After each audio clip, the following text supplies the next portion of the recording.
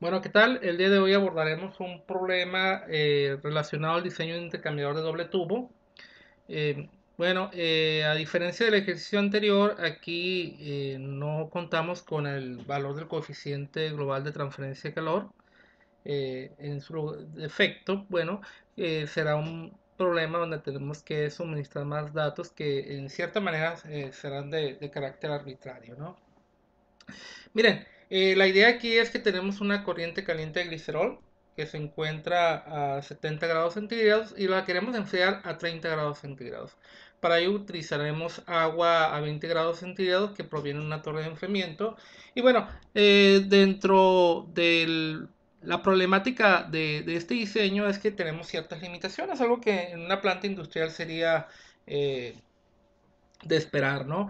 Primero, la torre de enfriamiento no nos puede suministrar más allá de 50.000 kilogramos por hora de agua tratada y la temperatura máxima a la que podemos retornar nuestra agua a la torre de enfriamiento no debe de superar los 45 grados centígrados.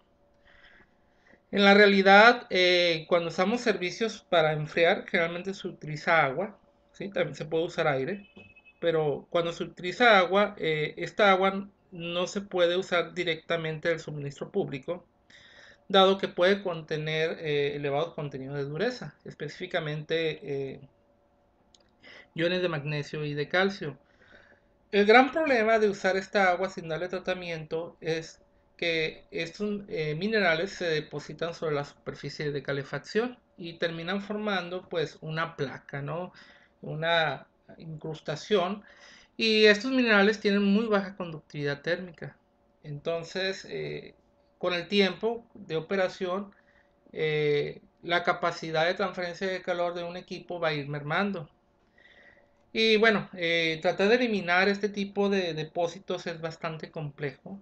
Eh, en el caso de calderas que podríamos ver en una termoeléctrica, incluso en las tuberías que son enormes de, de varias pies de diámetro, eh, las personas tienen que meter dentro de la tubería y a, través de marros golpear el interior de la tubería para eh, tumbar estos depósitos, ¿no? Entonces esta agua, como les comento, tiene que ser tratada y pues un tratamiento eh, tiene un costo asociado, dado por todas las etapas que debe de pasar. Entonces, invertirle en un agua que va a ser utilizada y luego desecharla no es viable. Por tanto, esta agua caliente después de ser utilizada dentro del proceso, es necesario enfriarla. Y para ello tenemos eh, unos equipos denominados torres de enfriamiento. Este es un esquema bastante sencillo. Eh, generalmente lo que se hace es eh, el agua se suministra por la parte superior de la torre a través de aspersores, se dispersa a través de, lo que viene siendo esta columna. Esta columna puede tener un relleno, no sé, tipo eh, anillos, eh, como lo ocurre con las columnas de absorción, o puede ser un conjunto de mamparas, es decir, eh, tablas, ¿sí? de tal manera que cuando esta dispersión de agua va cayendo, le generarían un obstáculo. ¿no? Y bueno, por abajo tiene que suministrarse aire. Este aire puede entrar de forma natural, es decir, el resultado del viento, o puede ser inducido por un ventilador. ¿no? Dicho ventilador puede estar arriba o puede estar abajo al final de cuentas, eh, la idea es eh, poner en contacto un aire que no debe estar húmedo, por lo menos no 100% húmedo, con esta agua caliente y va a correr un proceso natural, ¿no?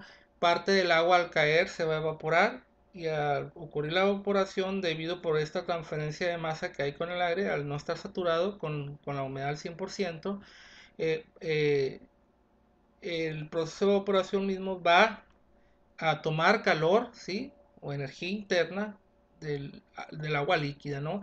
Este, esta eh, toma de calor, ¿sí? Va a hacer que la temperatura del agua disminuya.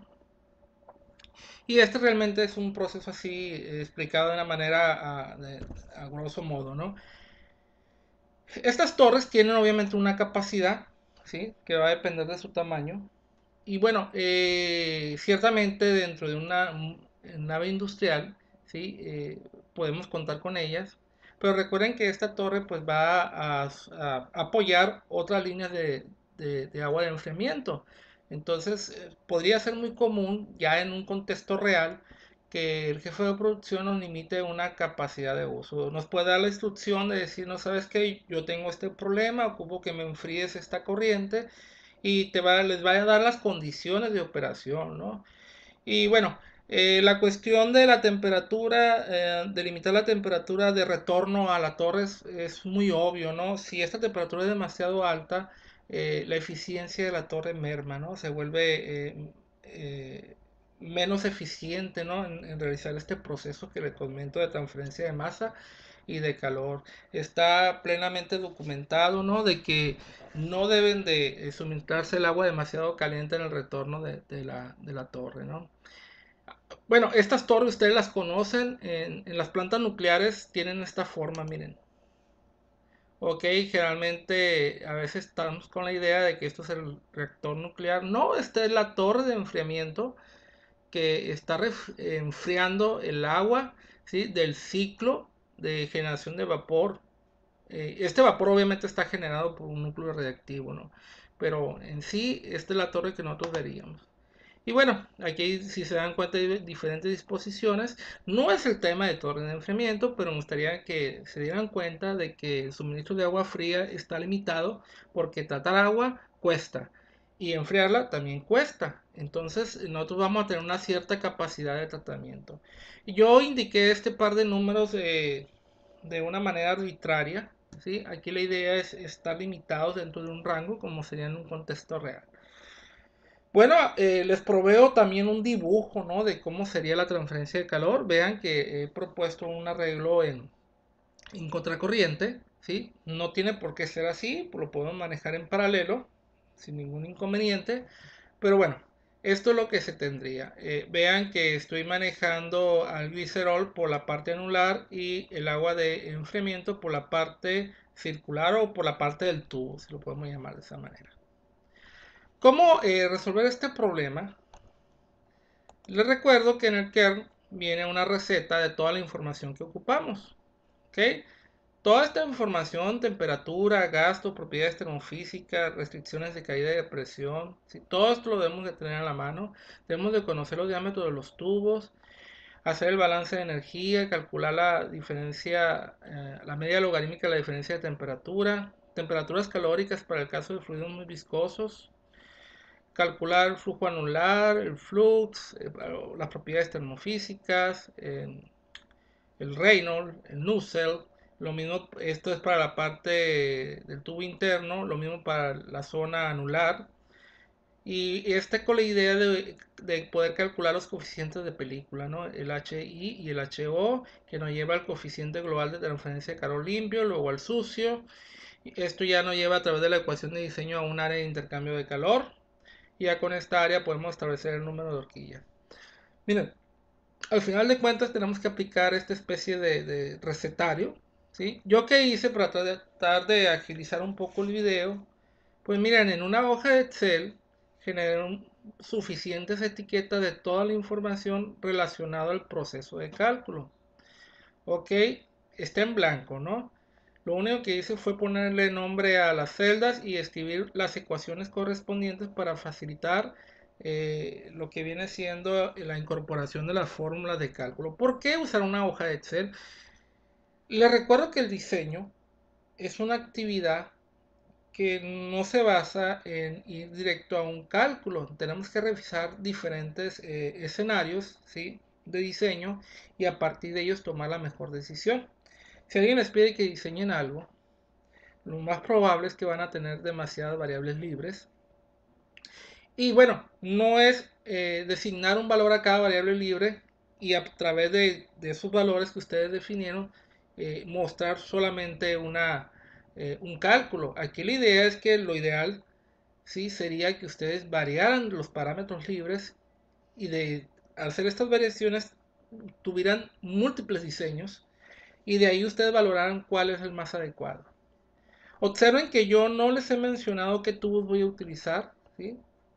Realmente si nos piden que, que, construyamos este intercambiador de calor no nos van a decir con qué contamos, simplemente nos van a decir que resolvamos la problemática que, tenemos. Y bueno, ya nos eh, eh, será decisión nuestra tomar el tipo de configuración. Bueno, eh, ¿cómo planteamos este problema? Pues hay que empezar a suministrar la información e ir calculando, ¿no? Eh, ¿Qué ocupo como primero? Bueno, pues ocupo eh, lo que viene siendo el flujo másico del glicerol. Vean que el ejercicio me habla de 7200 kilogramos por hora. Vean que esta cantidad la voy a dividir entre 3600 porque me interesa manejar el flujo en sistema internacional. Entonces, una hora sabemos que equivale a esta cantidad de segundos. Y ya obtendría un flujo másico del glicerol en kilogramos por segundo. Ok, sería de esta forma. ¿Qué más sigue? Tengo temperatura del glicerol de entrada. Eh, la temperatura de entrada es de 70 grados. La temperatura de salida es de 30 grados. En cuanto al agua, pues sabemos que es de 20 grados. ¿Ok? Tenemos cotas eh, o limitaciones, no podemos superar 45 grados ni podemos superar este flujo en lo que se refiere al agua. Miren, para el primer cálculo nosotros ocupamos las capacidades caloríficas del glicerol y del agua, es decir, tenemos que ir a tablas o apéndices de algunos libros donde nos podamos encontrar esta información. Manrique trae, digamos que un compendio algo extenso, no tan extenso como el libro de Kern, que maneja todavía mucho más información, eh, en este caso eh, les presentaré, les haré un, recorrido ¿no? por los diferentes apéndices para que ustedes sepan dónde hallar la información. Mientras me guiaré con el Manrique y luego les explico en dado caso de que cambiáramos de sustancias o de materiales ¿sí? dentro del diseño intercambiador. Estoy refiriéndome a la naturaleza de las corrientes, caliente y fría. Eh, los llevaré al KER para comentarles dónde pueden ah, encontrar estas propiedades y cómo pueden evaluarlas. Eh, ¿Qué temperatura voy a usar? Voy a utilizar la temperatura promedio, ¿ok? De lo que viene siendo el glicerol. Vean, entra a 70, sale a 30, la temperatura promedio es de 50. Entonces me tengo que ir al libro de Manrique, por aquí lo debo tener. Y debo de irme a lo que viene siendo el apéndice.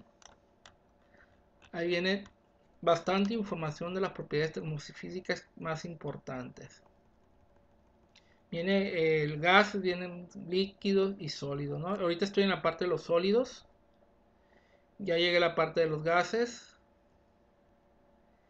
Y bueno, aquí ya estaríamos hablando de los líquidos. Y aquí tenemos, tenemos la glicerina y el glicerol.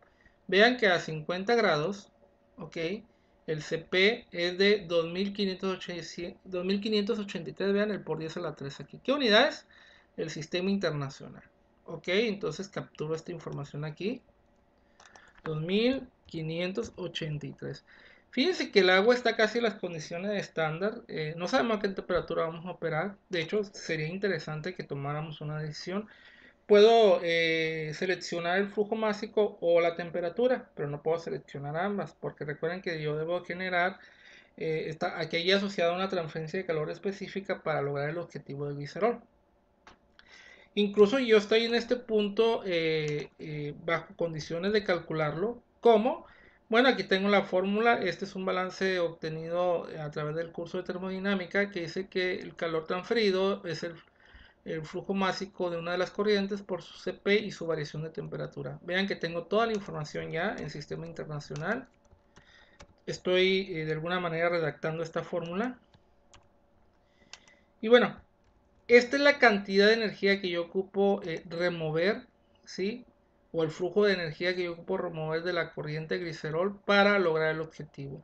Este calor tiene que ir al agua. Y aquí les aclaro que eh, vamos a considerar que nuestro intercambiador es perfectamente aislado y que no tiene pérdidas hacia su entorno. Bueno, eh, ocupamos la capacidad calorífica del agua vean que yo podría elegir 30 grados centígrados a la salida y no estaría eh, por encima de las condiciones límites que me está imponiendo eh, la operación que recuerden que el máximo son 45 grados y el promedio de esto sería 25 grados. Y bueno esas son las condiciones estándar del agua. Bajo esas condiciones el CP del agua anda aproximadamente en 4186 y fíjense que ya en este punto podemos calcular el flujo de másico requerido. Lo único que tenemos que revisar es que no esté por encima de las necesidades eh, o de las restricciones que nos está imponiendo el enunciado, ¿no? Eso es bien importante, siempre revisar que estamos cumpliendo con las restricciones que tendremos a mano. Si ustedes revisaran un ejercicio de libro, se darían cuenta que todo está limitado, les van a dar los flujos, las temperaturas entonces eh, todas las restricciones ya están contenidas en el enunciado, ¿no? Entonces la realidad no es así, la realidad es bastante eh, libre. Eh, hay mucha información que no está preestablecida. Por ejemplo, ah, en este punto no nos indicaron de qué tamaño deben de ser los tubos.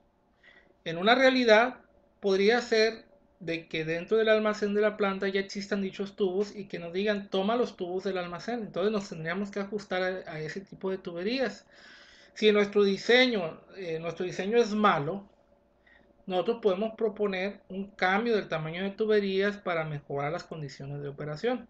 Imagínense que los tubos sean demasiado eh, pequeños para los flujos que vamos a manejar, entonces tendríamos grandes caídas de presión y posiblemente ocupemos kilométricas longitudes de intercambiador de calor, ¿no? Les recuerdo que en diseño todo es posible, pero ya llevarlo esto a la realidad eh, puede ser muy costoso. Entonces, eh, yo voy a calcular el flujo másico del agua esperando que esté dentro de las restricciones. ¿Cómo lo voy a usar? Lo voy a usar a través de otra vez del balance. Vean que esta es la corriente fría, esta es la corriente caliente. Ahora estoy interesado en m.f.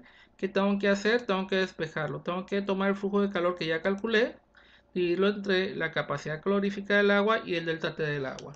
Entonces tomo el flujo de calor, lo divido entre el CP del agua y entre el delta T que en este momento estoy capturando. Ahí está. Bueno, fíjense que esto está en kilogramos por segundo. Yo podría hacer la conversión a kilogramos por hora. Lo voy a poner aquí arriba. Para eso tendría que multiplicar por 3600. Este valor no debe superar la capacidad de la torre de enfriamiento que me plantea el jefe de producción. Le recuerdo que no necesariamente esta capacidad o limitación que me puso el jefe de producción podría estar asociado a la capacidad de la torre. Es muy probable que las, torres se diseñan eh, de manera eh, con una cierta eh, sobreestimación, ¿sí? que se sobreestime su diseño para una futura incorporación de otras eh, corrientes de, agua. Entonces es probable de que cuando nos asignaron este número es debido a que la torre ya está apoyando otros procesos de enfriamiento y, queda esta diferencia ¿no? que todavía puede ser utilizable. Es decir, se construyó la torre demasiado grande eh, bajo este tipo de expansiones que puede tener nuestro proceso. ¿no? Entonces, eh, con esta agua la tenemos que checar, revisar que no la superemos, ¿no? No superamos la temperatura. ¿Cómo lo logro? Pues miren, yo, eh, estos son los kilogramos ya por hora que yo ocupo y yo tengo un tope de 50.000. Quiere decir que si yo manejo 30 grados sin ningún problema puedo manejar. Estoy dentro de las características deseadas. Van a decir, bueno, es que siempre va a cumplir. No, por ejemplo, si yo disminuyo mi capacidad de la temperatura de salida, ¿qué ocurrió? Vean, se incrementó la necesidad de agua. Porque eh, el delta T que yo permito de cambio dentro de mi intercambiador es más pequeño. Incluso vean, si yo nomás quiero incrementar en un grado eh, la corriente de agua, observen lo que estaría pasando. Está fuera de la capacidad de la torre de enfriamiento, por lo menos la que me puede proveer. Entonces vean que este número es muy importante. Y fíjense que no, no nomás nos afecta en, el aspecto de, cuestiones técnicas de los equipos que rodean a nuestro intercambiador de calor, sino que afectan directamente en, el coeficiente global de transferencia de calor. Voy a devolver los 30 grados, ¿no? Les recuerdo que lo he puesto en amarillo para indicar que es una cantidad que nosotros estamos eligiendo de forma arbitraria. Bueno, el siguiente paso que nos piden ellos es que calculemos la media logarítmica de la diferencia de temperaturas, que es que el delta T representativo del sistema. Vean, aquí ya puse la fórmula. Ocupo calcular la diferencia de temperatura en las terminales. Les recuerdo que en un sistema en contracorriente las temperaturas de entrada están eh, en forma opuesta. Esto quiere decir que si quiero calcular los delta T en las terminales, tengo que agarrar la temperatura caliente y restarle la temperatura eh, de salida de la fría, es decir, 70 menos 30. Ojo, siempre la corriente caliente le tengo que restar la corriente fría. En contracorriente significa que debo hacer diferencias cruzadas. En flujo paralelo, eh, diferencias horizontales, ¿no? Entonces sería 70 menos 30. Y aquí es bien importante que al momento de hacer el cálculo de la corriente caliente restar la corriente fría, revisar que esta diferencia sea positiva. Si la diferencia es negativa, estamos indicando que la corriente fría está calentando a la corriente caliente y eso no es posible, estaríamos violando los principios termodinámicos. ¿no? El flujo de calor va de, la, de una zona caliente a una zona fría. Vamos a hacer lo mismo ahora con, con la otra temperatura, 30 menos 20, les recuerdo van cruzadas, pueden hacer el dibujo en su libreta para que vean que esta es la configuración. Estos son los delta T de las terminales, ¿sí? Vean la terminal caliente, la terminal fría. Y bueno, no nos debemos de preocupar. Eh, alguien dirá, es que si usted resta 10 menos 40 y sigue la fórmula les va a dar negativo. Fíjense que no tenemos ningún problema con eso, dado que el logaritmo se va a encargar de corregir este signo negativo. Vean, perdón, estoy poniendo un valor fijo. Ahora sí, queremos automatizar el proceso de diseño. Entonces a T2 entre T1. Observen que estoy metiendo esta fórmula, ¿no? Bueno, ya quedó. Y ya tenemos eh, la media ah, logarítmica de la diferencia de las temperaturas. Ahora, ¿qué ocupamos? Fíjense que ocupamos ya elegir un sistema de, de tubos. Yo he optado por elegir este sistema eh, recuerden que estamos diseñando, que no tenemos conocimiento de lo que estamos haciendo. Vamos a plantear con estos tubos.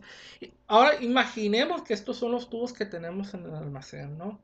Y que nos dicen, bueno, trata de diseñarlo con el material que tenemos. Voy a tratar de hacer el diseño.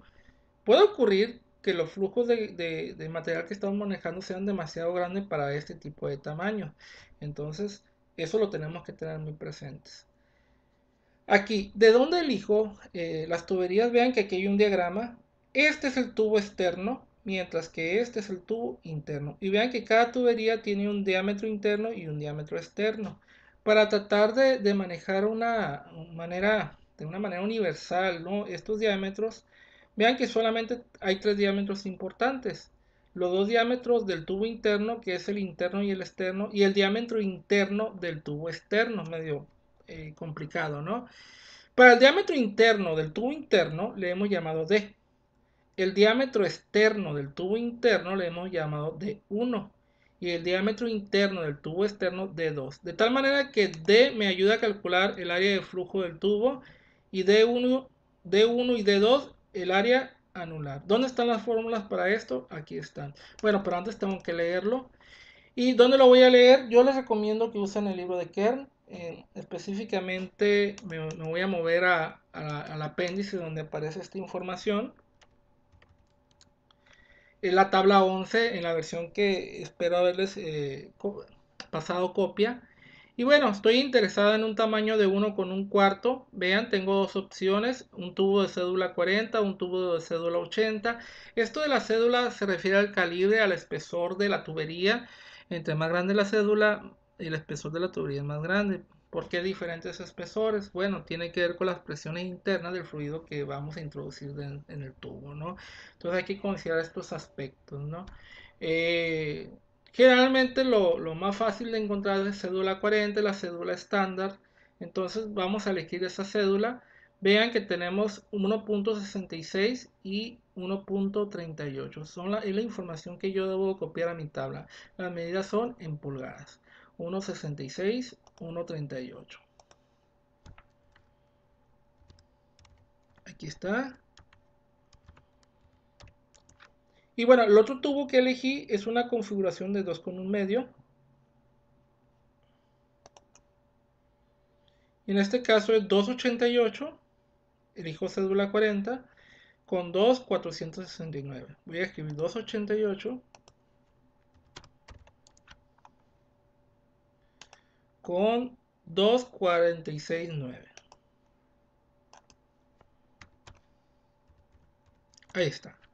Pero esta información está en sistema inglés. Ahora lo tengo que transformar a sistema internacional. Estas cuatro dimensiones las voy a pasar aquí donde he puesto las etiquetas de los nombres, pero lo voy a multiplicar por punto 254, ¿no?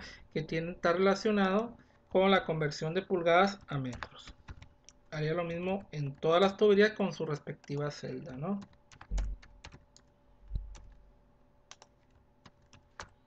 Ya hice la conversión. Ahora sí tengo los diámetros correspondientes.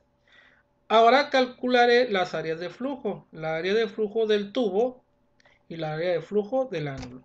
Para el área de flujo del tubo es sencillo, tomo el diámetro interno, lo elevo al cuadrado, lo multiplico por pi y lo divido entre 4. Ya tenemos el área de flujo. Por otro lado, el área de flujo del ángulo es un poquito más complejo. Tomo pi otra vez. Estaría usando esta fórmula, abro paréntesis, tomo el diámetro 2, que fíjense que el diámetro 2 se refiere, aquí disculpe, tiene que estar dentro de paréntesis. El diámetro 2 se refiere al diámetro interno del tubo exterior. Y le restó el diámetro 1 al cuadrado que se refiere al diámetro externo del tubo interior.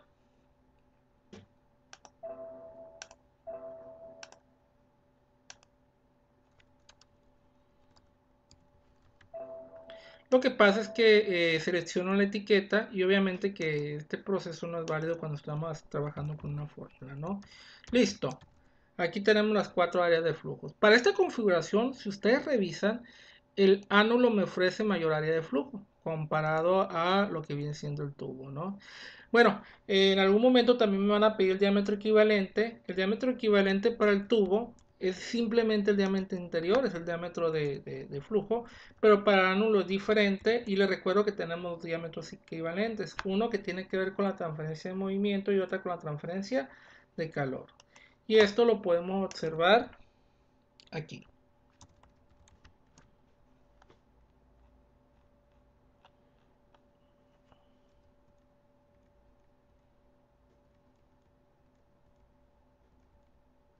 Aquí están las dos definiciones.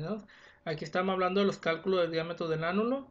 Tenemos el diámetro equivalente para la parte de transferencia de calor y para la parte de transferencia de movimiento. Los perímetros eh, de calor y de fricción son totalmente diferentes. Yo estaría utilizando esta fórmula. Bueno, eh, dicho esto, eh, hago el cálculo y como lo tengo etiquetado se vuelve bastante simple, ¿no? Simplemente es marcarlo. Y bueno, dividirlo entre el diámetro 1. Ahí está. Ahí tenemos los dos diámetros equivalentes. Ya hicimos todos los cálculos con las configuraciones del tubo.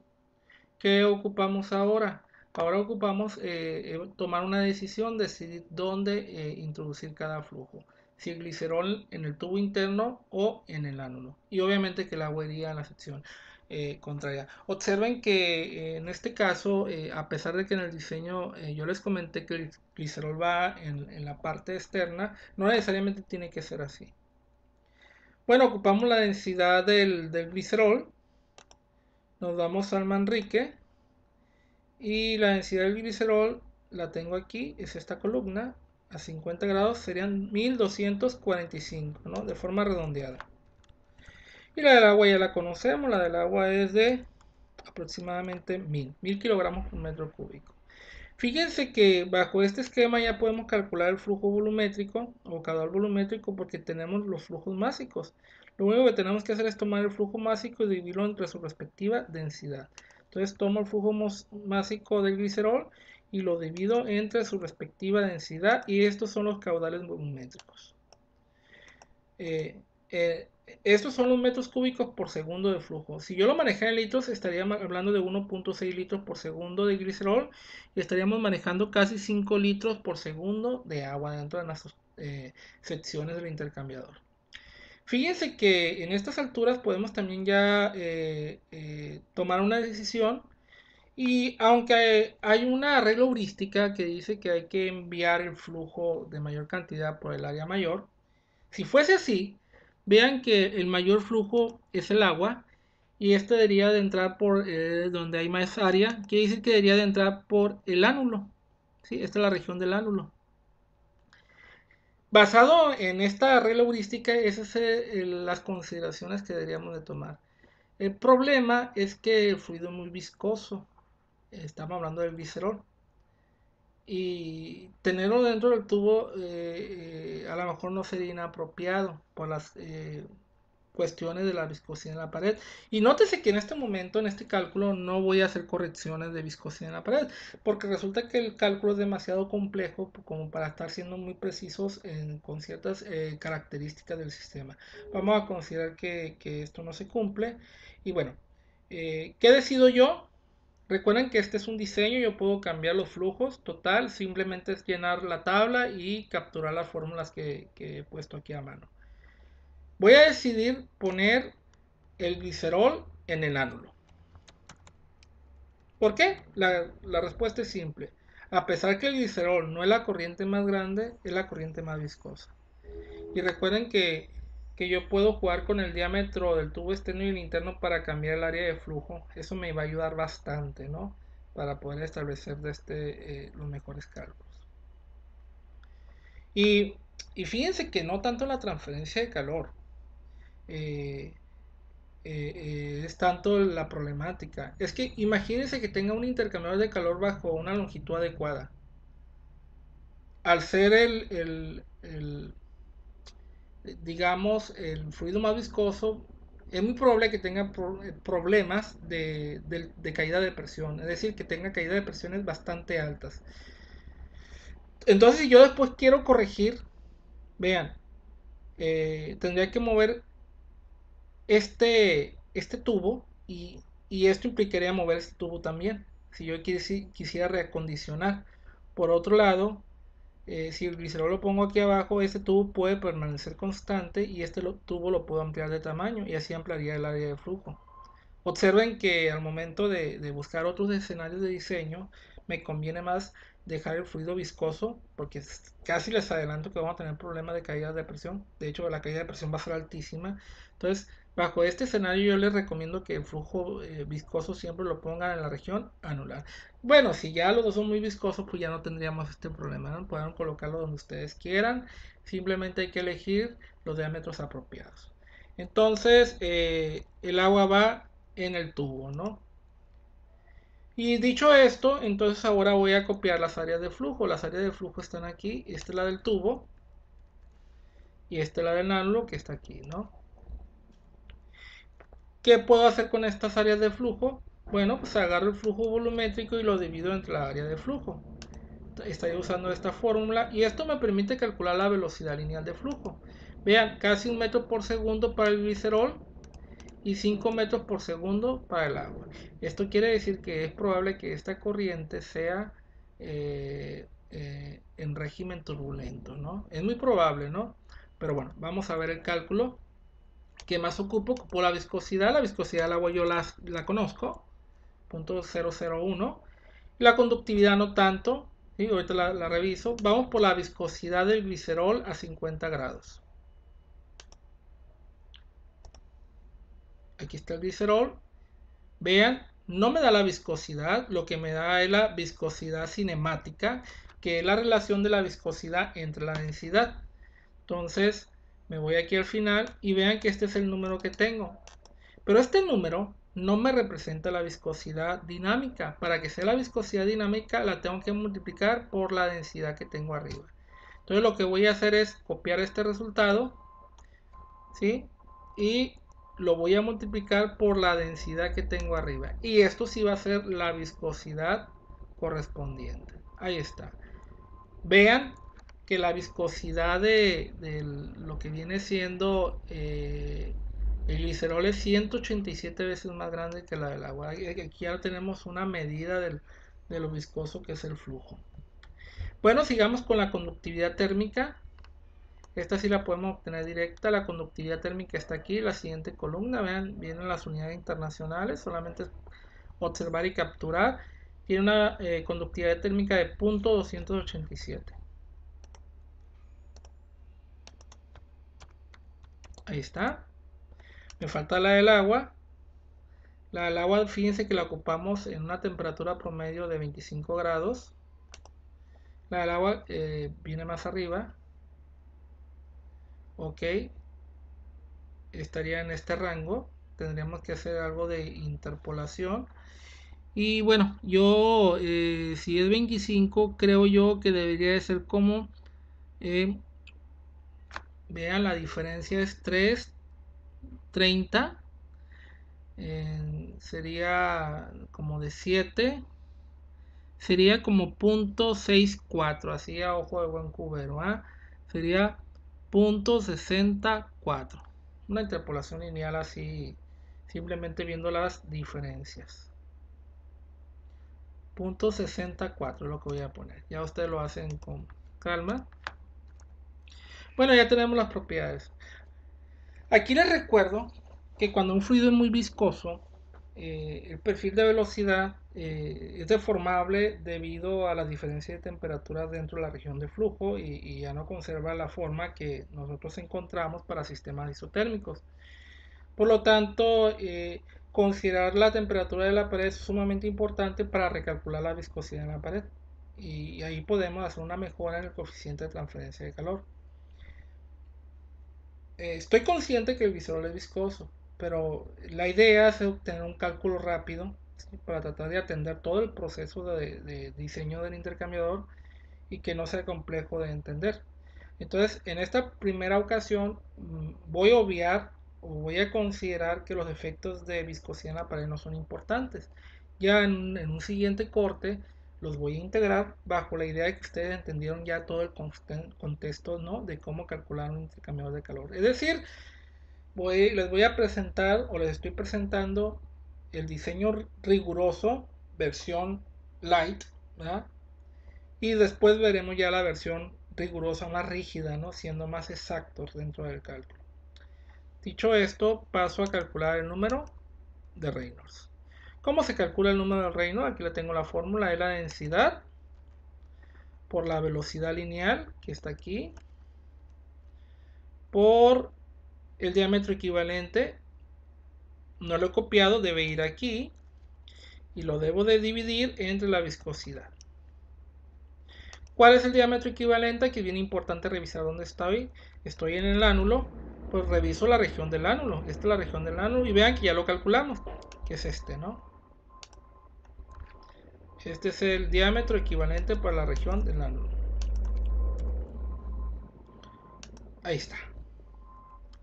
Y para la región eh, del tubo pues simplemente el diámetro interno es haber copiado esto no ahí está. Y bueno el reino lo paso hacia acá y vemos algo muy interesante algo esperado de hecho debido a la alta viscosidad del sistema que vemos eh, vemos que el reino del glicerol está por debajo de 2100 mientras que eh, el del agua es bastante alto, es decir, el glicerol se comporta de manera laminar y el agua de manera turbulenta. También ocupo el número de Planck. Le recuerdo que el número de Planck es la división de los coeficientes moleculares de movimiento entre calor o en su versión más corta que es Cp viscosidad entre K. Voy a usar la versión corta que sería Cp mu entre K. Entonces la capacidad calorífica está aquí, luego por la viscosidad y lo dividimos entre la conductividad. Aquí está. Vean, es un plan bastante alto. Esto es debido a, pues, a la viscosidad ¿no? del glicerol. Mientras que para el agua, ya sabemos que anda ronda alrededor del 7. ¿Ok? Está muy bien, ¿no? Bueno, aquí hay un problema. Yo tengo dos correlaciones matemáticas para evaluar el Nusselt, una para el régimen laminar y otra para el régimen turbulento. Me gustaría dejarlo automatizado. Yo en una condición, a través de una condición if o si, podría hacer esto. Pero me gustaría que quede más claro lo que voy a hacer. Entonces yo voy a calcular el Nusselt para las corrientes en laminar y turbulento. Ojo, no es el Nusselt que voy a utilizar solamente para que ustedes vean los valores. Después voy a hacer una pregunta sobre si es laminar o no y me voy a quedar con el adecuado. Ahorita me, me olvido del régimen y voy a hacer el cálculo. Por ejemplo, si es laminar, debo escribir 1.86 por abrir paréntesis, poner el Reynolds, el Prans, y aquí viene la parte interesante, debo de poner el diámetro equivalente dividido entre la longitud. Longitud del intercambio de calor pues efectivamente eso es lo que andamos buscando. ¿Cómo la voy a saber? Si no la sé, la tengo que proponer. Pero ojo, esta propuesta debe ser idéntica a la que yo al final voy a establecer. Mientras yo voy a poner una longitud aquí de interés, ¿ok? De lo que yo creo que debería de ser dicho tamaño. Y claro, bueno, todo esto elevado a la 1 tercio. Ahí está. No sé de qué tamaño va a ser. Por ejemplo, creíamos que son de 6000 metros. Ok, ahí está. Si la longitud calculada es 6000 metros y la atinamos, que no creo que la tenemos, pues es el nuce. Lo mismo voy a hacer para la otra versión. Van a decir, pero no, ¿por qué? Si es turbulento. Bueno, es que vamos a calcular tanto el laminar. Luego, para esto es para hacer que el código sea más claro de entender. Ahorita van a ver que el nuce real es este que voy a poner aquí. Ahora voy a hacer lo mismo con el turbulento para las dos corrientes. Entonces va a ser el Reynolds elevado a la punto 8 por el PRAN a la 1 con un tercio. Este es el PRAN. Este ya sería el nuce en condiciones turbulentas contra el otro, ¿no? Ok, lo verifico, está bien, es esta correlación. Voy a verificar la otra. Ok. ¿Qué hemos hecho? Vean que hemos dicho que, eh, la viscosidad del bulto y la de la pared son iguales. Sabemos que para el glicerol esto no es cierto. Debe haber alguna discrepancia en, en las cantidades. Pero estamos haciendo el método riguroso en una versión corta, ¿no? Luego vamos a hacer la corrección. Ahora, ¿qué le elijo? Miren, Excel nos trae también el if, así como lo han trabajado en MATLAB. Yo puedo poner sí. Luego me va a preguntar una condición lógica. Bueno, si el Reynolds está por debajo de 2100, el que acabo de, de anotar ahí arriba, entonces debo de poner la condición verdadera. ¿Cuál es la condición verdadera? Bueno, que debo usar el, el nuce laminar. Si no es cierto, vean que he puesto punto y coma, ahora debo usar la eh, decisión que no es cierta y es, entonces quiere decir que es régimen turbulento. Ok, vean cómo el sistema ha elegido el régimen laminar para el glicerol. Ahora simplemente lo corro hacia acá y vean cómo ahora para el agua ha elegido el valor turbulento. Vean que a pesar de que hacemos los dos cálculos, el sistema se queda con el que le corresponde de acuerdo a la versión de régimen de flujo. Bueno, ya casi nos acercamos al final del cálculo. Ahora ocupamos los coeficientes de película, pero hay un detalle. Eh, eh, específicamente en los coeficientes de película hay que recordar que pues está definido en términos de diámetro equivalente. Lo bueno es que ya tenemos esa información. Yo aquí les presento la definición de Nusselt, que es coeficiente de película diámetro equivalente entre conductividad. Entonces lo único que tengo que hacer es despejar. Tomo el Nusselt, el que sí es, lo multiplico por la conductividad térmica que anda por aquí y la divido entre el diámetro equivalente que lo tengo acá.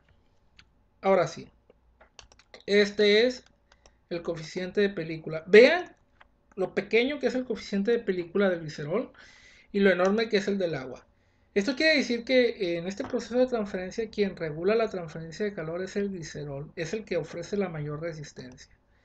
Y dentro del problema que les comentaba es que estos coeficientes de película están eh, establecidos de forma diferente. Por ejemplo, el HI, que es el coeficiente de película del foco del tubo, que es la parte interna, usa el área interna del tubo interno, mientras que el HO usa el área externa. Entonces yo debo de hacer un reajuste para que sea la misma área de referencia. Para el caso de HI, ¿qué hago? Pues lo voy a multiplicar por el diámetro interno y lo voy a dividir entre el diámetro externo. ¿Qué diámetros? Estoy hablando del tubo interno. Entonces busco el diámetro D y lo divido entre el diámetro externo.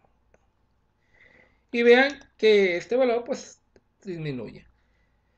¿Qué ocupa ahora? Bueno, pues ahora ocupo calcular los coeficientes de transferencia de calor global en términos de condiciones limpias. Vean que no estoy considerando los problemas de transferencia de calor del tubo eh, si yo quisiera ser más riguroso tendría que poner la conductividad del material. No lo vamos a hacer, generalmente no se hace. Y bueno, aquí tengo que despejar la U limpia y lo que voy a poner es el inverso de la suma eh, de los inversos. En este caso, de la H corregida, la H y O, más la otra H, ¿no? La H normal. Ahí está. ¿Ok? Lo que les había comentado, ¿no? El, coeficiente global está regulado por la corriente de glicerol. Vean. ¿Sí? Este es el... Entonces, eh, esta regulación eh, solamente puede mejorar si mejoramos las condiciones de transferencia de calor del glicerol. Lo otro, recuerden que hay un coeficiente de, incrustaciones o de ensuciamiento. Y bueno, eh, esto generalmente se gana con la experiencia, pero tanto Manrique como Ken traen información. Voy a irme al Manrique porque lo traen en el sistema internacional. Entonces para esto me voy a ir a la parte final del capítulo donde vienen los intercambiadores de calor y ahí vienen algunos valores. No viene el proceso que estamos trabajando, pero nos da una idea. Vean, factores de sociedad de acuerdo al tipo de fluidos que manejan. Aquí lo que me interesa que ustedes vean es que está en el sistema internacional y que el orden de los valores son de esta eh, eh, cantidad. Claro, por 10 a la menos 4. Aquí al ser por 10 a la 4 pues queda un número de este tamaño. Entonces yo voy a elegir en este momento este un número totalmente arbitrario, ¿sí? Yo lo voy a elegir eh, porque en este momento desconozco, al menos que ya dentro de la planta ya se conozca cómo se ensucia este material. Y recuerden que tiene que ver con las características del glicerol, ¿no? Si el glicerol viene de un proceso donde no se le dio una apropiada eh, purificación, es muy probable que los factores de suciedad sean todavía mucho más grandes. Entonces voy a poner un valor ficticio. Voy a poner un valor de 8. Ojo. Por 10 a la menos 4 en sistema internacional. Claro, este es un factor de ensuciamiento para ambos lados, ¿no? Tanto para el agua, para el glicerol. ¿Qué hago ahora? Ahora calculo el coeficiente de transferencia global, el sucio, y para eso es el inverso del inverso de limpio más el RD, este que tengo aquí. Ahí está. Vean cómo se disminuyó todavía más el coeficiente. No lo hizo en gran medida, pero bueno. Ahora debo de calcular el área del intercambiador de calor. ¿Cómo se calcula? Bueno, se toma el flujo de calor, se divide entre la media logarítmica de la diferencia de temperatura que tengo acá y lo tengo que dividir aparte ¿sí? entre el coeficiente de transferencia de calor sucio. Ahí está. Este es el área de, eh, intercambio de transferencia de calor que yo requiero. Pero bueno, generalmente uno eh, lo va a establecer a través de, tramos de tubo y ocupa una longitud de todo el sistema. Y la longitud de todo el sistema, sabemos que son tubos. Básicamente sabemos que el área de transferencia es la longitud del intercambiador por el perímetro. Pero ojo, del área de referencia que estamos trabajando.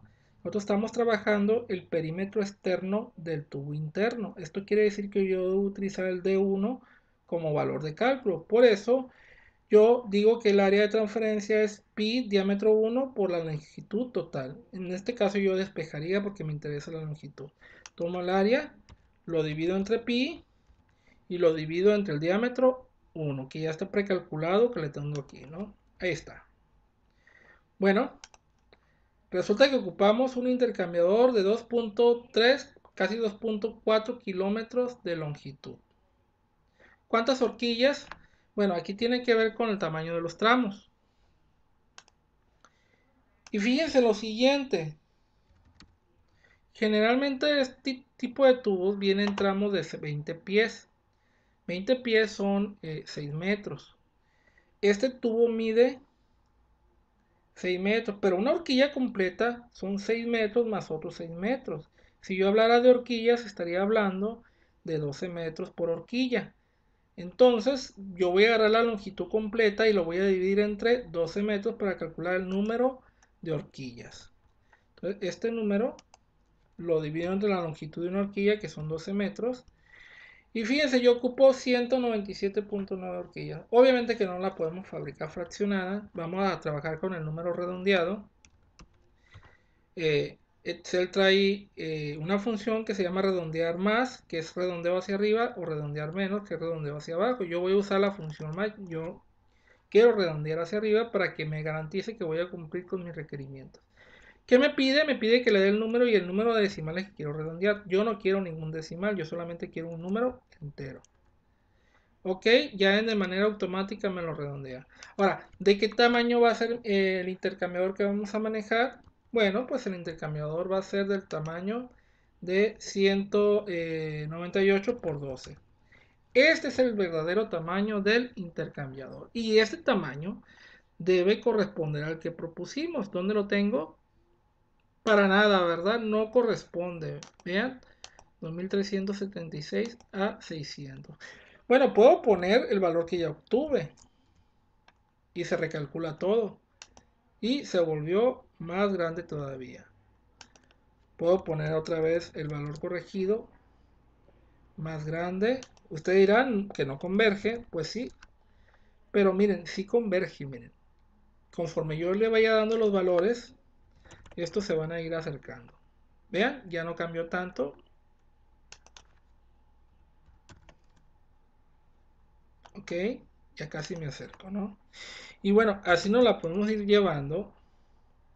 Vean, ya me pasé, ya estoy acercando. Hay otra manera de hacer esto de proceso más rápido y es calcular el error entre dos longitudes. Realmente a mí me gusta calcularlo así. Tomo el 1 y le resto la longitud que obtuve. Es como un error relativo. Y lo divido entre la otra longitud. ¿Ok? Bueno, aquí lo ideal sería al revés, ¿verdad? La longitud propuesta entre la longitud calculada. Y este es como un error, eh, digamos que la diferencia de longitudes que hay con respecto a la longitud que debería de ser. Entonces, por ejemplo, si me da punto 2, me está diciendo que, la calculada está 20% por arriba de la propuesta. Si me da menos punto 2, quiere decir que está por abajo. Pero a mí me interesa que el error sea cero. Entonces, eh, la única manera de lograrlo es elevarlo al cuadrado. Yo quiero que este error que ven aquí valga cero. Cuando valga cero es porque estas dos longitudes, tanto la propuesta como la calculada, son iguales.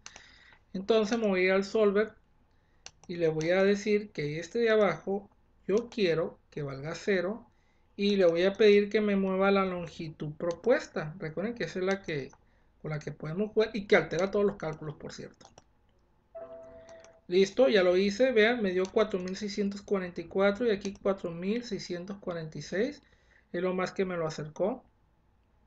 Y yo puedo seguir mejorando este cálculo. Eh, puedo multiplicar un no sé por otro número. Tiene que ver con, los eh, parámetros del solver. Pero bueno, ya me quedaría aquí. En conclusión, ocupamos un intercambiador con una longitud de 4.6 kilómetros de largo bastante, pero bastante largo. ¿Cómo puedo cambiar esta longitud? Obviamente que esto es debido a que el área de transferencia del tubo interno es muy pequeño. Y esto debido a que elegí un diámetro demasiado pequeño. Entonces yo debo de cambiar la configuración. Ahora, ¿qué configuración elegí? Hay propuestas, este tipo de propuestas, vean. Yo elegí 2 un medio con 1 un cuarto. No significa que, no pueda elegir otra combinación. Pude haber elegido 2 un medio con 1. O 2 un medio con, eh, con, un, con un medio. ¿Ok? Puedo hacer bastantes elecciones. Pero bueno, eh, estas son las propuestas que, de ensamble que, que, me están dando. Yo puedo hacer la combinación que sea mientras un tubo se pueda insertar dentro de otro tubo para hacer el intercambiador de doble tubo. Y aquí lo que me queda claro es que yo elegí un tubo interior demasiado pequeño. Tengo que hacer más grande este tubo. Si este tubo lo hago más grande, obvio que tengo que hacer más grande el otro tubo. Entonces, si yo quiero disminuir la longitud del tubo, porque les aseguro que esta área de transferencia no se va a modificar. ¿sí? Se va a modificar más el otro aspecto. Ciertamente el coeficiente depende del Reynolds y el Reynolds y de la longitud del intercambiador porque está en régimen laminar. Pero bueno, vamos a cambiar las configuraciones. Voy a hacer lo siguiente. Voy a guardar este ejercicio. Y vamos a hacer una copia y a esta le vamos a llamar hoja 2. ¿Ok? ¿Qué vamos a hacer? Vamos a cambiar la configuración. Vamos a elegir una configuración de diseño de aquí. Fíjense que en primera instancia eh, yo podría cambiar esta eh, configuración. ¿Sí? Y quizá podría tratar una configuración 4.3. Vamos a ver hasta cuánta eh, es el, los diámetros de tuberías que me maneja este tipo de sistema. voy a elegir la más grande de las que veo aquí, 4.3. Ok. Fíjense que todavía puedo ir más allá Vamos a elegir la 4.3. Es decir, 450 para 4.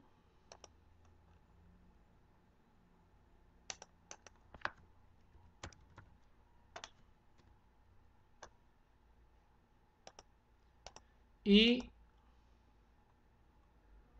4.026.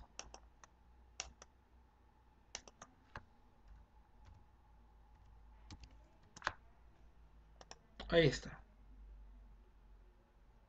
He elegido esta configuración. Ahora para la otra tengo que elegir esta. 350 3068.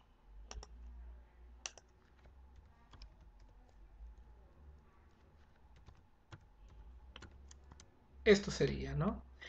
Todo va a cambiar, todos los cálculos tienen que cambiar efectivamente. Y bueno, nada más voy a cotejar 3068, 350 es correcto. Y bueno, aquí ya no es de tamaño 2,5, es de tamaño 4 y este de tamaño 3. Y fíjense que podemos eh, buscar otras configuraciones todavía más grandes. Vamos a ver cómo nos ha afectado el Reynolds. Vean, el Reynolds cayó. El régimen turbulento no lo recuerdo. Disminuyó también. Tenemos más área. Ok. Vean que la propuesta disminuyó a 1836, pero bueno, la calculada. ¿sí? Esto quiere decir que esta la tengo que corregir todavía. Lo voy a hacer con el solver. Ahí está. Listo. He disminuido, perdón, la longitud del intercambiador. Vean. Obviamente era de esperar. Vamos a ver qué pasa con el coeficiente global el coeficiente global sucio de 29 el anterior era de, 15 ¿sí? lo mejoramos ¿sí? y ojo no hemos hecho la corrección de por ser un fluido viscoso esto nos podría beneficiar fíjense que ya tenemos un mejor sistema estamos hablando de que hemos eh, disminuido la longitud a una cuarta parte y ustedes dirán, ¿se puede mejorar de otra manera? Sí, sí se puede mejorar de otra manera. Y tiene que ver con estos valores, ¿ok? Con los eh, valores de la temperatura de salida, dado que la temperatura de salida modifica el flujo. Lo único que debo revisar es que no esté por encima del valor. Por ejemplo, yo podría poner aquí 25 eh, grados bueno, antes voy a revisar el número que tengo. El número que tengo es esto, ¿no? 1188 o 99 horquillas. Yo creo que es más fácil de entender. Tengo 99 horquillas. Voy a cambiar la temperatura. La voy a disminuir a 25. Voy a revisar que los delta T sean positivos. De todas maneras me marcaría un error. Ahí está. Vean, 91 horquillas, pero no está el cálculo correcto porque estas dimensiones deben de coincidir. Ahí está. Ahora sí es correcto. ¿Cuántas horquillas ocupo? 88 horquillas. ¿Qué hice? Disminuí la temperatura. ¿Qué, me generó? Mayor uso de agua. ¿Estoy en los límites? Sí, estoy en los límites. No he pasado los 50.000 kilogramos por hora que me puede suministrar la torre. Fíjense que lo que hice realmente fue eh, incrementar eh, lo que viene siendo el delta T. ¿sí? Entonces, al incrementar la media logarítmica de la diferencia de temperatura, disminuyo el área de transferencia. ¿Ok? Ustedes dirán, ¿y esto puede ir todavía mejorando? Miren, lo voy a bajar a 24. Un grado de diferencia.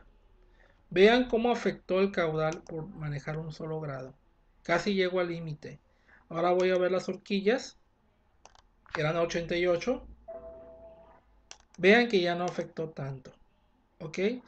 Solamente disminuí dos horquillas por haber ese cambio. En el primer eh, intento disminuyeron más horquillas. Claro, fue una variación más fuerte. Pero aquí queda claro que es muy importante, ¿no? El flujo másico del agua o la temperatura de salida, ¿sí? Y la geometría del sistema.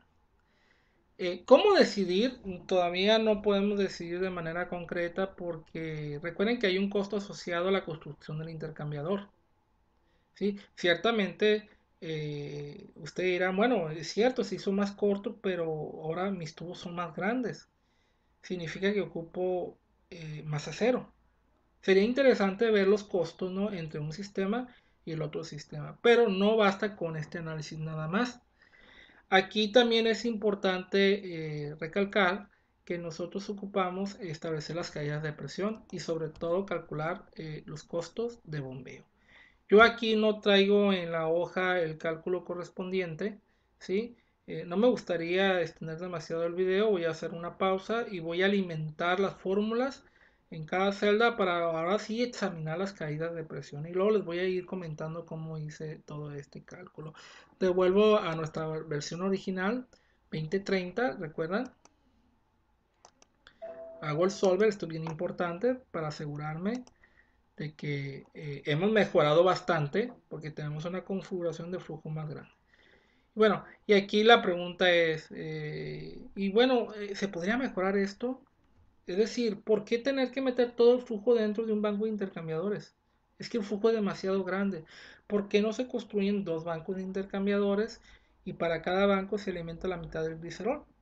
También es una opción, ¿no? Entonces fíjense que aquí en vez de tener un gran banco de intercambiadores largo, aquí lo que nos conviene ahora es mejor tener eh, dos intercambiadores dos bancos de intercambiadores en paralelo donde alimentaríamos la mitad de glicerol a cada banco. Eso también podría ser otra estrategia, ¿no? Y bueno, este es lo que les comento que tiene que ver con el diseño de un intercambiador de calor. Entonces, eh, aquí al final voy a agregar las pérdidas de presión para examinar cuál es el sistema que nos conviene. Entonces voy a hacer una pausa y vuelvo ya con todas las celdas eh, incluidas. Bueno, ya me di la tarea de codificar las fórmulas que vamos a ocupar eh, para tanto el flujo anular como el flujo del tubo. Y bueno, aquí hay que hacer algunas eh, adecuaciones. Por ejemplo, el diámetro equivalente ya no se define de la misma manera. El diámetro equivalente ahora es la diferencia de diámetros por la región anular. En cuanto al tubo, sigue definiéndose de forma similar.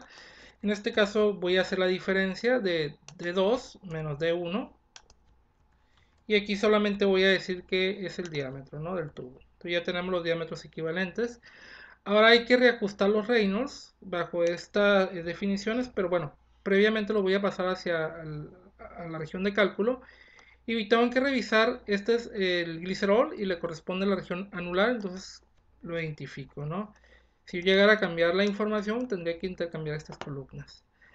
El Reynolds se va a calcular de la forma similar, solamente que vamos a, tomar nuevo, eh, la nueva definición de diámetro equivalente. Ok. Es densidad, velocidad, diámetro equivalente entre viscosidad. Aquí está. Perfecto. Este es el nuevo Reynolds, basado en las cuestiones de que ahora estoy considerando las dos superficies de fricción dentro de la región anular.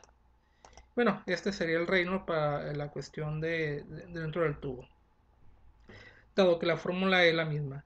¿Qué sigue? Bueno, va a depender, ¿no? Tenemos un factor de fricción de Fanning acorde a un régimen laminar que obedece esta fórmula, es decir, 16 entre el número del reino modificado, que de hecho es el reino original que aprendimos en la transferencia de movimiento, y bueno, este sería para la otra región. Por otro lado, vamos a calcular el turbulento. Eh, que nos provee de dos, de dos correlaciones. Yo sé una de ellas. Sé que hay unas correlaciones mejores como la de Kulbrooke. Y bueno, ustedes dirán si se quedan con estas o unas mejores. Eh, pues al final de cuentas estamos considerando que los tubos son lisos. Es muy común dentro de la transferencia de calor para eh, impedir que se formen estas incrustaciones. Y bueno, en este caso estaría codificando lo que viene siendo la fórmula para régimen turbulento. ¿Ok? Vean, escribí .0014 eh, más .125 entre el número de reinos elevado a la .32. Y bueno, ¿qué tenemos que preguntar? Pues si está en un régimen o el otro. Si el reino es menor que 2100 es laminar y por lo tanto debo de tomar el valor de la primera casilla. De lo contrario de la casilla inferior o celda inferior. Ahí está. Vean, eh, el régimen laminar para el primer caso, pues toma el factor de fricción de abajo. En el segundo caso de tomar el punto 004, ¿ya? Y ya no nos preocupamos, ¿no? Dado que las celdas se encargan de elegir qué valor utilizar. ¿Por qué es importante obtener el factor de fricción? Bueno, recuerden que en el caso del factor de fricción de Fanning se define de esta manera. Eh, si usamos la definición del factor de Darcy, 4F, donde F es el factor de fricción de Fanning, sería el factor de Darcy. Son, eh, hay que poner mucha atención a qué tipo de fórmula estamos utilizando para que eh, no cometamos errores, ¿no? porque hay dos definiciones diferentes. Bueno, ¿cómo calculo esta caída de de presión debido a la longitud del tubo, bueno, es cuatro veces el factor de fricción que obtuve por, abro paréntesis, punto 5 que me multiplica a la densidad del fluido en cuestión por la velocidad al cuadrado. Aquí la debo tener. No he terminado, vean. Y esto lo debo de eh, dividir entre D en L. Y bueno, aquí tendría que ser el, diámetro equivalente correspondiente, ¿no? D en L, la longitud real, ¿no? Ahí está. Y bueno, esto que están viendo es la caída de presión medida en pascales, pero debido a la pura sección del tubo. Todavía nos falta calcular, eh, en este caso, la región del ánulo, ¿sí? Eh, es el flujo por la longitud de la región del ánulo y en otro no sería complicado, ¿no? Simplemente lo extendemos, verificamos haber anotado bien los valores. Es 4 veces la el factor de fricción, punto 5. C20 veces la densidad. Y la velocidad es 26, perfecto, al cuadrado entre diámetro equivalente y su longitud, perfecto. Bueno, Todavía tenemos otras caídas de presiones eh, a tomar en cuenta. Vean, eh, hasta ahorita hemos calculado la fricción que se genera o la caída de presión que se genera porque el flujo se mueve de manera recta, ¿no? Y son dos regiones, eh, dentro del tubo y en la región anular. Vean que cuando va por dentro del tubo, las caídas de presión en, en, el retorno son significantes dado que tenemos un conector en U. Pero cuando lo hacemos a través del anulo, tiene que llegar a la T, vean, aquí llega golpea la T prácticamente porque aquí hay una estopa, una prensa estopa y de manera brusca tiene que hacer un cambio de dirección de 90 grados. Otra vez choca y otra vez otro cambio de dirección. Entonces aquí ya tenemos otro tipo de caída de presión, ¿sí? por un cambio de dirección brusco. Y bueno, en este caso se maneja eh, a través de esta fórmula, la energía cinética, pero multiplicado por el número de horquillas. ¿Dónde aplica esto? Nomás aplica en la región del ánulo el ángulo de la columna izquierda quiere decir que solamente va a aplicar aquí. Entonces sería 0.5 por la densidad por la velocidad cuadrada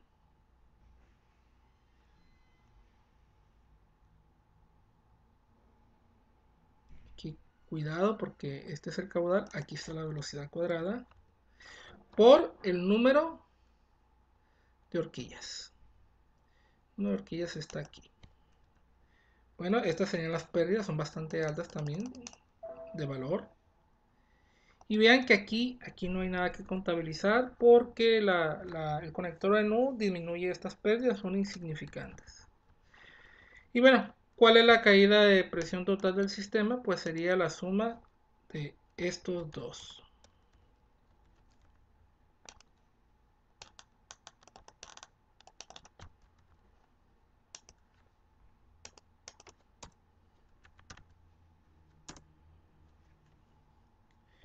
Aquí no puedo escribir Eh, omitir error le vamos a poner. No me deja.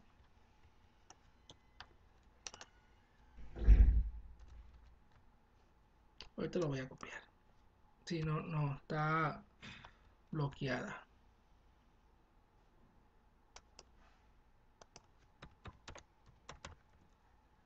Ahí está. Y bueno, este es Calibri para que se vea bien. Bueno, no sé si me deja poner signo menos antes. No, no me deja. Ese es el problema que tengo. Ok. Bueno, voy a copiar esta y voy a poner la caída de presión total del sistema.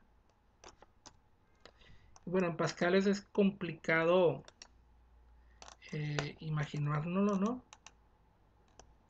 Y pues podemos ponerlo en kilogramos por eh, centímetro cuadrado, que sabemos que un kilogramo por centímetro cuadrado es una atmósfera. Bueno, se podría de esta forma, ¿no? Primero eh, sumaríamos las dos pérdidas de, presión. Y esto sería la pérdida de presión total para el nánulo, para el glicerol y esto para lo que viene siendo el el agua. Y bueno, si lo quisiera en kilogramos por centímetro cuadrado, que es realmente lo que podríamos revisar en un manómetro, esto más o menos equivale a, lo de una atmósfera es dividida entre 100.325, es el factor de conversión. Y bueno, aquí nos estamos dando cuenta lo enorme, ¿sí? La enorme caída de presión que deberíamos de generar en este sistema. Que pues está fuera de proporción el caudal es demasiado grande, ¿no? Un foco demasiado intenso. Hay otra cosa que podríamos calcular, ¿sí? Que es el trabajo mecánico ideal. Y el trabajo mecánico ideal no es más que la caída de presión que sufre el sistema completo, pero en pascales, multiplicado eh, por el caudal, por el caudal volumétrico, obviamente el sistema internacional. Aquí está el caudal volumétrico. Y esta es la energía que yo ocuparía en watts de manera ideal, mecánica, para poder bombear ¿sí? lo que viene siendo el glicerol. Vean la diferencia de energías. Si ustedes observan, eh, aquí nos damos cuenta que con un, prácticamente con una bomba de un caballo eh, alcanzamos a bombear el agua necesaria. Mientras que aquí estaríamos hablando de bastante, ¿no? ¿Cuántos caballos serían aproximadamente? Y es ideal, ¿no? Porque vamos a tener más pérdidas. Una bomba de 68 caballos. ¿Esto qué significa? Eh, significa de que, primero, las, pérdidas de presión son enormes. Se tienen que mejorar todavía. Y se puede mejorar, fíjense, eh, de una manera un poco más rápido. Eh, podríamos incrementar eh, lo que viene siendo el tubo exterior, llevarlo quizá a 2 pulgadas más, ¿sí? Y bueno, ¿cómo le haríamos? Vamos a hacer esta nueva propuesta para ver cómo lo afectamos, ¿no? Fíjense que seguimos en el proceso del diseño, estar viendo posibilidades. Y como les comenté, pasamos 6 pulgadas, entonces voy a tener que usar estos valores, voy a copiar para hacerlo más rápido.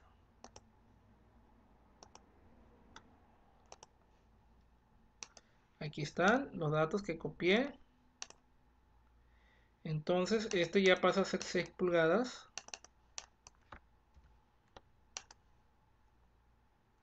Aquí tendría que poner 6.625. y acá 6.065 ahí está. Seguramente deben de cambiar los valores vean. La, la L propuesta cambió bastante. Voy a revisar a ver qué pasa con el número de horquillas. Tengo que pedirle al sistema que los reajuste. Fíjense eh, eh, fue demasiado grande. ¿Sí? ¿Cuántas arcillas ocupamos ahora? 500, 833. ¿Ok? Pero vean cómo se redujo la potencia de bombeo. ¿Ok? La potencia de bombeo se redujo prácticamente, vean, vean eh, eh, la caída de presiones que generamos. Bastantes, pero bastantes pequeñas, ¿sí? Comparadas a las que teníamos anteriormente, ¿no? ¿Sí? Eh, si ustedes observan, ¿sí?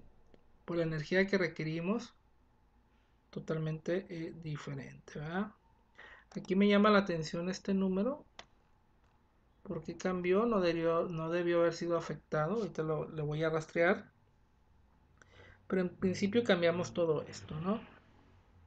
Sí, sí cambió porque aumentamos la, longitud de horquilla. Esa es la razón. ¿Sí? Bueno, ¿qué, ¿cómo me afectó haber puesto un diámetro eh, más grande aquí? Vamos viendo. Seguramente lo hizo primero en el Reynolds. Este tuvo que haber cambiado primero. Tuvo que haber afectado el coeficiente. Vean cómo se disminuyó. ¿Sí? Y fíjense que aunque relajamos el área de flujo, es decir, lo volvimos mayor, el Reynolds también cayó y por lo tanto afectó eh, lo que viene siendo eh, la transferencia de calor. ¿sí? Es que lamentablemente eh, el régimen afecta de la misma manera a la transferencia de la calor como a la de cantidad de movimiento. Es decir, si yo incremento eh, el área de flujo, estaría disminuyendo la velocidad lineal. Y si disminuyó la velocidad lineal, disminuyó el régimen. Y si disminuyó el régimen, disminuyó tanto la transferencia de calor como eh, lo que viene siendo la caída de presión en la pared del tubo. Y sí, obtuvimos un detrimento bastante interesante ¿no? Eh, de dicha cantidad. ¿no? ¿A qué costo? Bueno, el costo fue de que ahora ocupamos cinco veces más horquillas, ¿no? Vean cómo eh, el, haber tomado este tipo de decisiones nos afecta eh, de una forma muy, muy, muy significativa. ¿Cuál sería mi recomendación final? quizá la recomendación aquí sería eh, manejar diámetros eh, más pequeños y en vez de tener un, solo intercambiador largo, ¿sí? quizá lo que más conviene es manejar bancos de intercambiador de tal manera que el glicerol se pueda destruir, ¿no? O en su defecto, ¿no? Eh, utilizar otro sistema. Hay un sistema de tipo serie paralelo que podrían funcionar. Bueno, decisión final pues aquí más que nada estamos viendo cómo la toma de decisiones nos afecta en las condiciones de operación. Cómo el yo cambiar la geometría del tubo efectivamente eh, me afecta bastante la transferencia de calor como en, el trabajo de bombeo. Eh, obviamente que hay un costo asociado al costo de bombeo y un costo asociado al costo del intercambiador. Mientras que uno es un costo fijo, este último, el intercambiador en sí, el es un costo de operación. ¿Cómo elegir eh, la mejor decisión? Bueno, la mejor decisión tiene que ver con un costo económico final. Es decir, todo esto lo tengo que evaluar en forma de, dinero, en flujo de dinero, eh, no sé, un costo anual a través de estos dos costos que les comento, y eso es lo que nos va a llevar a decidir de este, qué sistema utilizar. Es decir, en el diseño no hay nada preestablecido más que el efecto monetario que pueda tener dentro de nuestro proceso. Entonces, obviamente que la corriente es bastante, bastante grande, ¿no? La corriente que se eligió inicialmente, ¿no? Vean que voy a hacer lo siguiente. Voy a devolver a, la versión que teníamos, la de 4 pulgadas.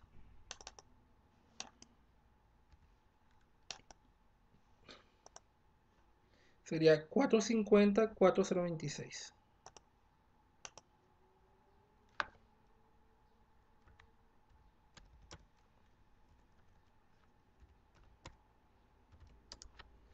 Ahora le voy a pedir Solver que reajuste todo. Aquí pasó algo malo. Todo está bien.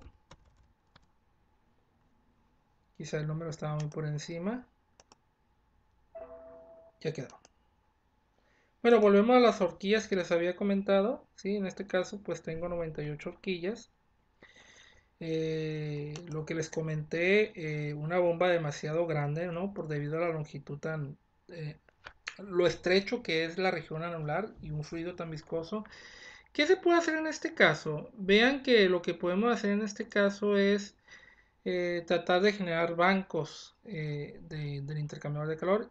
Puedo generar dos bancos del mismo tamaño de tal manera que mande la mitad del flujo y si mando la mitad del flujo aquí yo lo que tendré que poner es un eh, kilogramo por segundo ok le voy a pegar al sistema que se recalcule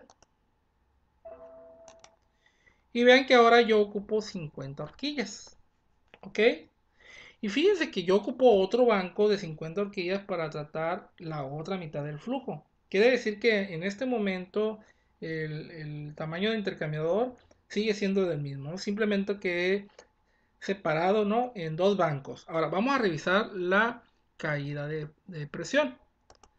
¿Sí? La caída de presión en el agua es bastante pequeña. ¿Sí? Los requerimientos de agua son totalmente diferentes.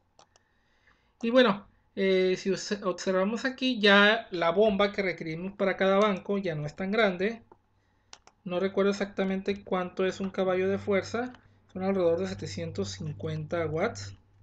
Entonces ya ocupamos una bomba de 8.6 caballos de, potencia para suministrar glicerol ¿sí? a, cada, a cada banco de intercambiadores de calor. Eso es lo que estaríamos ganando eh, por a, trabajarlo de esta manera. Ok, dos bombas de 8.6 caballos, estaríamos hablando de una potencia de bombeo de 17 eh, caballos. ¿Sí? Aquí lo voy a ir escribiendo. Un banco, un solo banco, me requiere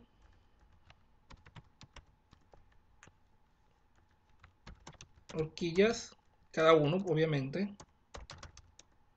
Habíamos dicho que me requiere 99 y aquí voy a poner la potencia de la bomba, ¿no?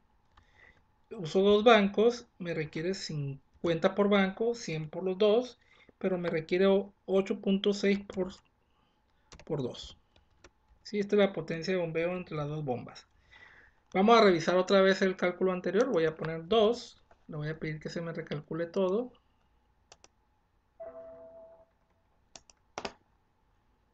Y aquí ocupo una potencia de bombeo de 68 caballos. Vean, si uso un solo banco, 68 caballos, 99 horquillas. Aquí si uso dos bancos de 50 horquillas, entre todos los bancos voy a ocupar 100 horquillas, pero la potencia de bombeo es 17.2. Ahora vamos a hacer lo siguiente, voy a usar eh, eh, una tercera parte del flujo, ahí está. Es decir, quiero usar tres bancos. Y vamos a ver qué pasa. Yo en este caso voy a ocupar ahora 35 horquillas por banco. Es decir, voy a ocupar 105 horquillas. Pero la potencia de bombeo que voy a ocupar es 2.68 por 3. Ok. Fíjense que estas potencias de bombeo que estoy escribiendo es la potencia de bombeo de todas las bombas juntas alimentando a los bancos correspondientes. Aquí solamente ocupo una bomba para alimentar el banco. Aquí ocupo dos bombas, uno para cada banco, con la mitad de la potencia. Y aquí ocupo tres bombas. Esto eh, es de suma importancia al momento del diseño. Eh, vean que siempre va a ser eh, necesario buscar las mejores condiciones, las mejores configuraciones geométricas, pero también la mejor forma de distribuir nuestro flujo, ¿no? Eh, sé que tener un solo banco es más práctico. Por eso si ustedes eh, van a una planta industrial van a darse cuenta de que no van a ver un solo banco en serie, sino van a ver eh, bancos completos que son alimentados de manera simultánea del mismo flujo. Para mí es muy importante que ustedes consideren esto. Al momento de considerar el diseño. Y fíjense que existen otras configuraciones de las cuales voy a platicar después que pueden ser utilizadas. ¿Qué me falta de este cálculo a considerar? Eh, me falta eh, ver el efecto que tiene que ver la temperatura de la pared, es decir, en el siguiente video vamos a hacer el cálculo de las temperaturas calóricas para usar un coeficiente global de transferencia de calor más representativo del sistema. Ver si esto realmente fue afectada ¿no? por las decisiones que tomamos. Entonces concluyo aquí, ya hicimos un análisis completo ¿sí? de cómo la distribución de flujo y la geometría del tubo me afecta ¿sí? en el número de horquillas y en la potencia de bombeo a tomar. Muchas gracias.